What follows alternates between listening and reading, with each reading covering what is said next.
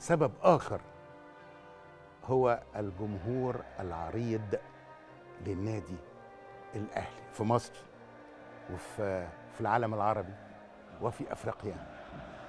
الجمهور اللي أنا واحد منهم ودايما إحنا كجمهور عاشق للأهلي كنا دايما نبص لقدام للبطولة للانتصارات.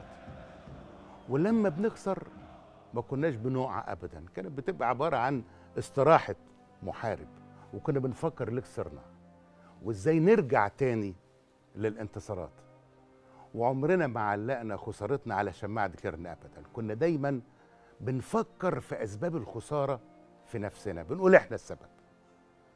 يعني أحيانا كان ممكن حد يقول آه لا السبب الحكم الفلاني أو ال- أو الإعلان. ده بيحصل آه صحيح. لكن بنفوق بسرعة وبنبدأ نحاسب نفسنا.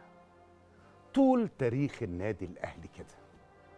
بنراجع نفسنا قبل ما نرمي أسباب خسارتنا على أي حد. علشان كده بنرجع بسرعة للانتصار والفخر.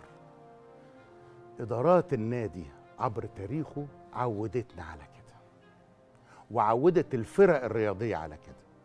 ممكن نتظلم وممكن ما نكونش إحنا السبب في الخسارة لكن بمزيد من الجهد والعرق والروح مؤكد هننتصر على أي سبب للخسارة.